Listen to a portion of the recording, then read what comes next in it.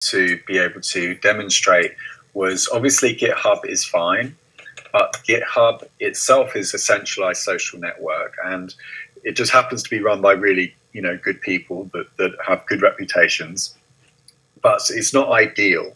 Uh, let's give a little bit of context before we go into why what I'm about to show you is so important and relevant today in the age of hypermedia, and in particular that article that I, I shared with everybody uh, the other day. Um, on histories of things to come.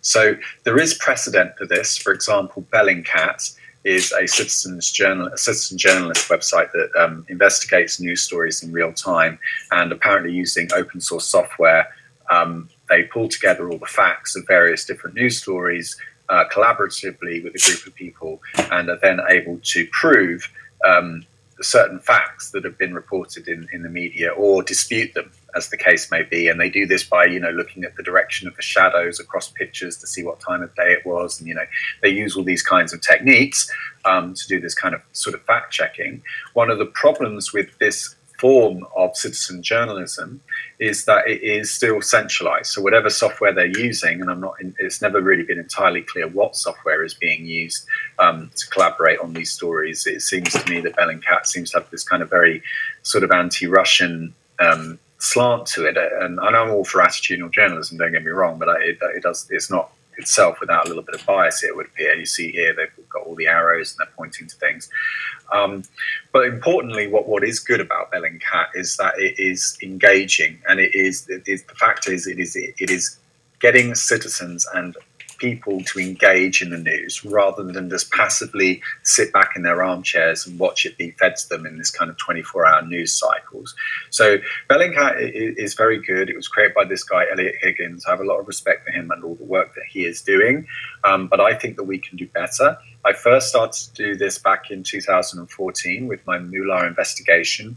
Um, this was the uh, former cryptocurrency exchange uh, Moolah or MintPal which went bust and took a lot of people's money with it. Uh, the guy that was um, behind that is now actually uh, facing um, a court court battle, and you can see there was like an evidence bundle that I put together, and there were links, you know, with timestamps to to all the various, you know. Um, pages that I was finding on the internet with evidence and and uh, all the all the different Bitcoin addresses and so forth that were implicated. And then what I was doing was I was timestamping it into the blockchain.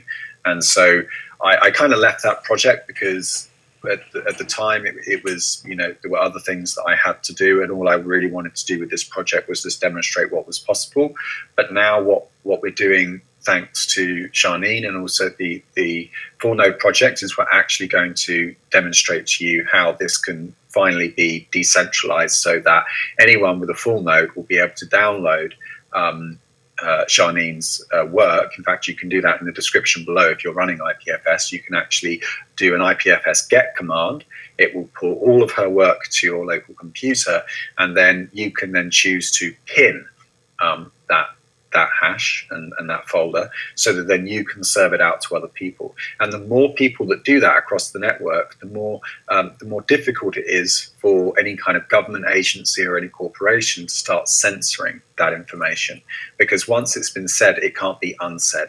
It can't be removed again, which is important for freedom of speech because the underlying assumption here is that the answer to freedom of speech is more speech. If there's something that is said that is untrue, the, the, the answer is not to try and delete it or remove it.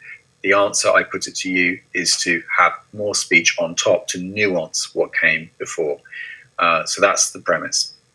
So what I'm going to do is I'm going to go over to the Raspberry Pi terminal. And what am I going to do here? I'm going to try and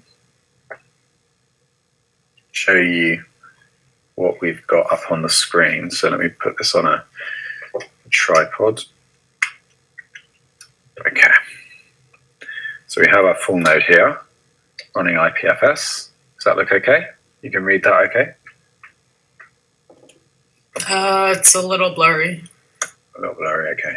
Well, and then what I'll do is I will share my. Looks like you just have to need a. You just need to focus it.